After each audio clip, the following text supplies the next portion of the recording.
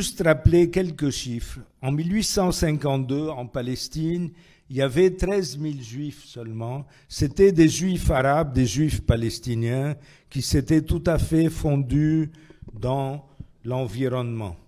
En 1874, avant, en 1897, avant le congrès sioniste, les juifs en Palestine n'étaient que 44 000.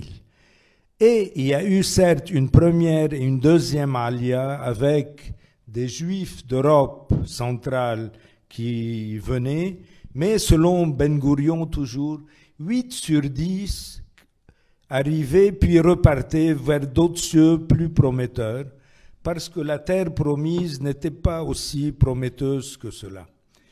En 1914, au déclenchement de la Première Guerre mondiale, euh, les données du recensement ottoman nous donnent 602 000 musulmans et 81 000 chrétiens, donc une affaire de 681 000 Palestiniens et 60 000 Juifs, dont 39 000 de nationalité ottomane. Pas beaucoup. En plus, les Juifs qui étaient en Palestine ont été chassés par Jamal Pacha, qui rêvait de se constituer un royaume à lui tout seul en Syrie et en Palestine, à telle enseigne que euh, la population juive, au moment de la déclaration Balfour, avait été euh, pratiquement réduite à sa portion congrue. Euh, maintenant, si on compare les chiffres avec 1948, on voit que le nombre des Juifs s'est beaucoup accru, puisque au moment de la guerre israélo-arabe, la première guerre israélo-arabe, il y avait 650 000 Juifs déjà, la plupart des rescapés de l'Holocauste nazi qui s'étaient réfugiés en Palestine, aux grandes dames des Palestiniens. Comment les Palestiniens vont réagir?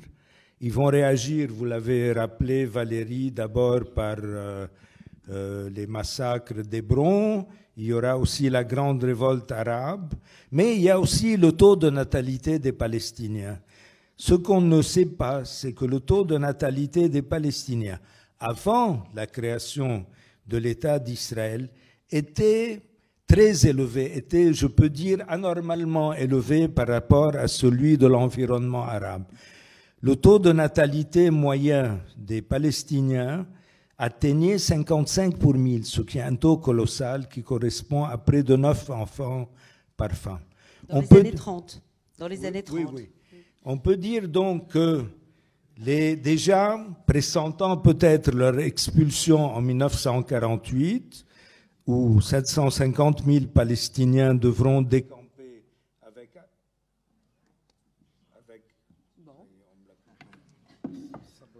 avec euh, armes et bagages vers les pays environnants. Donc 750 000 Palestiniens qui ont été chassés. Et en grande partie, ces 750 000 Palestiniens ont quitté la Palestine parce que le plan de partage qui a divisé la Palestine en deux était tout à fait incongru et ne pouvait pas permettre à ces deux populations de cohabiter. En effet, le plan de partage, du point de vue démographique, c'était un État juif avec 558 000 juifs et 405 000 palestiniens, donc une très forte proportion de Palestiniens dans l'État juif, un État arabe avec 840, 804 000 arabes palestiniens et 10 000 juifs, et l'ensemble de Jérusalem qui était placé sous souveraineté internationale avec 100 000 juifs, un nombre pratiquement égal de Palestiniens. Par conséquent, les Nations Unies, enfin les, les 12 ou 14 États qui ont décrété le plan de partage de la Palestine, avaient fait quelque chose qui était impossible à gérer et qui devait inévitablement, se terminer par une guerre, ce qui fut le cas en 1948 avec l'expulsion des 750 000 Palestiniens. Merci Youssef Courbage pour cette mise au point qui en effet euh, paraît euh, décisive. Peut-être qu'on aurait euh, envie de voir un petit peu les cartes de temps en temps, et notamment la première avec le plan de partage. Alors vous dites incongru, vous dites inviable. Euh, je me tourne maintenant vers Henri Laurence. Euh, est-ce que c'est votre avis euh, aussi? Est-ce que vous diriez que ce plan de partage avait une chance de fonctionner sur le terrain? Vous faites une spécialité de replacer toujours les choses dans un cadre plus large, notamment historiquement. Quelle est la réponse que vous donnez à cette question, évidemment Je dis souvent, mon ami Youssef, lui, il compte et moi, je raconte. Hein, euh, donc, euh, donc racontez-nous. Voilà. Ah bah, euh, d'abord, le problème, c'est que les Anglais avaient le bâton merdeux depuis 1920, en, gros, parce qu'ils n'arrivaient pas à trouver une solution. Ils ont à peu près tout essayé, et puis ils ont donné aux Nations Unies juridiquement le choix de décider à condition que eux ne fassent rien, puisque les Anglais ont dit euh, on est prêt à appliquer une décision des Nations Unies si les Juifs et les Arabes sont d'accord. Alors, comme les Juifs et les Arabes n'étaient pas d'accord, c'était justement pour ça qu'on s'était adressé aux Nations Unies. Hein, euh, et euh, donc, il y avait déjà une contradiction fondamentale. Alors, les seuls qui pouvaient appliquer quelque chose, c'était les Anglais, parce qu'il y avait 100 000 soldats britanniques en Palestine en 1947. C'est absolument colossal par rapport à la population totale que euh, l'ami Youssef euh, euh, vient de vous donner. Alors, pourquoi ça a échoué? Ben Parce que d'abord, les Palestiniens ne pouvaient pas admettre que perdre leur patrie ou un morceau de leur patrie était acceptable. C'était quasiment primaire chez eux. C'est une injustice, c'est une impossibilité. Euh, pour eux, c'était comme si vous faisiez un État français sans euh, Paris, Marseille et Lyon. Euh, c'était en gros ce qu'on leur proposait dans le plan dit de partage.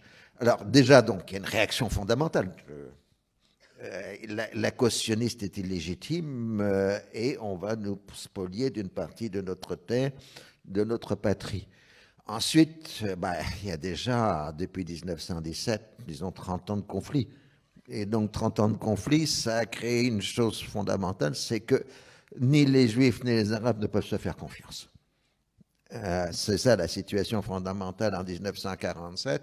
Les, les futurs Israéliens peuvent donner des garanties verbales à l'autre partie, mais pour l'autre partie, ils n'y croient pas.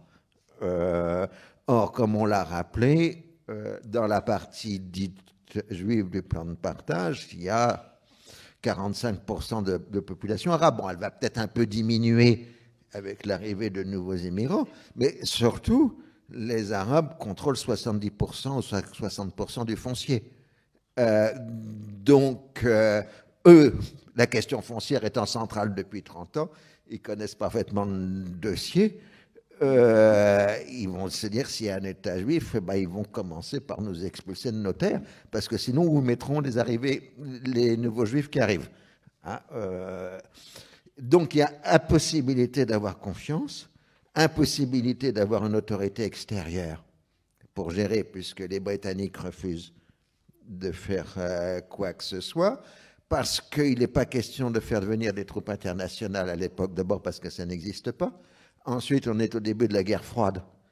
Euh, et donc, euh, ça voudrait dire, si on envoie des troupes internationales, qu'il y ait des contingents soviétiques euh, en Palestine. Et ça, pour les Occidentaux, c'est impensable de mettre des troupes soviétiques à l'intérieur du dispositif militaire occidental du Moyen-Orient. Donc, on pouvait accumuler.